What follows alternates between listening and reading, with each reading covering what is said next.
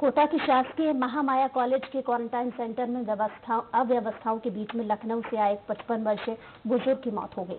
बताया जा रहा है कि मस्तूरी निवासी मृतक जागेश्वर यादव अपने दो बेटों के साथ लखनऊ के ईटा भट्टे में काम करने गया हुआ था। लॉकडाउन में वह वापस लौटा और इन सभी को कोटा के क्वारंटाइन सेंटर में रखा गया था। यहाँ मजदूरों को अध पका चावल और कीड़े युक्त सब्ज़ी परोसी गई, जिसे कई मजदूरों ने नहीं खाया। मृतक जागेश्वर और उसके बेटों ने इस भोजन को खा लिया। सुबह बेटों ने देखा कि उसकी मौत हो चुकी है।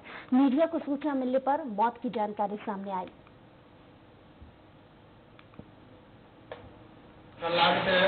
सब्ज़ी बने थे चावल से दो पूरी भी थे कल खाए तो सब्ज़ी जैसे पौधा से पीढ़ थे खाना में ठीक बाकी यह व्यवस्था खाना पीना के ढंग से नहीं हो पाती।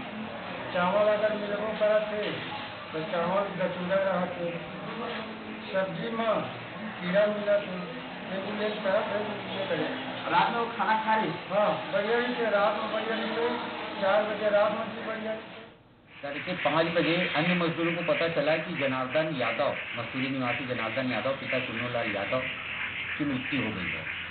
अब वो रात में खा पी के सोया है।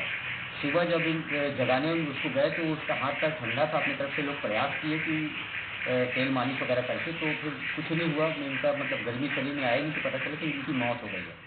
रमेश है मैं छत्ती मछली तहसील के मालिकपुरी के और पाँच दिन पहले आए थे रात में भी अच्छे थे और डॉक्टर लोग उसे टेस्ट कर रहे हैं और घर वाले भी बताए कि सुबह उनको खत्म हुआ है तो हार्ट अटैक बताया में